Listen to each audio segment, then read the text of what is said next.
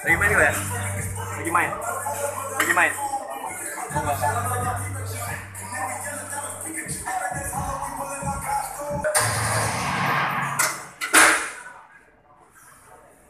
untuk untuk